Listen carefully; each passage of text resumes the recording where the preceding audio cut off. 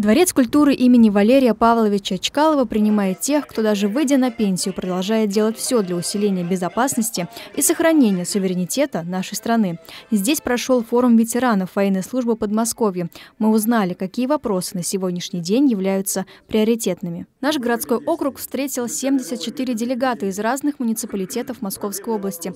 Организатором форума стало подмосковное отделение общественной организации Вооруженных сил РФ при поддержке администрации нашего городского округа. На форуме обсудили повестку дня и поделились опытом работы разных отделений этой организации. Спикеры отметили необходимость проведения в школах уроках мужества, военно-тактической игры «Зорница» и повышения интереса учащихся к Всероссийскому детско-юношескому общественному движению «Юнармия». Для участников форума выступили ученики 4 класса школы номер 12 имени Валерия Чкалова. Их классному руководителю Лии Гаргеладзе, ветеран Великой Отечественной войны Иван Жичков, вручил получил памятную медаль за активную военно-патриотическую работу. А представитель Коломенского отделения рассказал о взаимодействии молодежи с семьей героя России Истрофила Магомедова. Отражая атаку националистов на Херсонском направлении, он до последней секунды оставался верен воинскому долгу.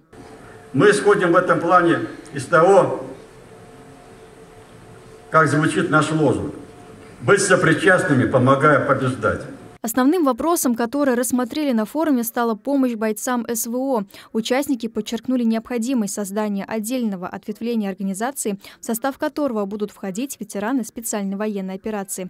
Председатель комитета Московского областного отделения Владимир Арабеев отчитался о деятельности организации в этом направлении. В условиях специальной военной операции каждый выбрал посильное участие в приближении победы. 98 членов нашего регионального отделения – ушли добровольцами или были мобилизованы и принимают непосредственное участие в специальной военной операции. Еще один из примеров заботы о военнослужащих – работы художницы Светланы Галаган. Ее выставку развернули в холле Дворца культуры.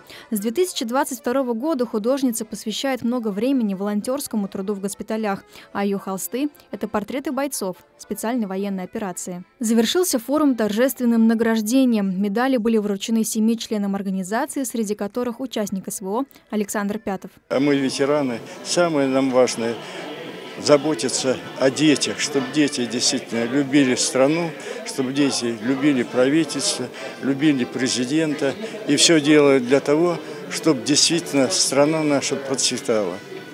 А наша страна всегда процветала и будет процветать всегда. Мы все равно победим. Победа будет за нами. Катерина Михайлова, Мария Синина, Евгений Михайлов. Шелковское телевидение.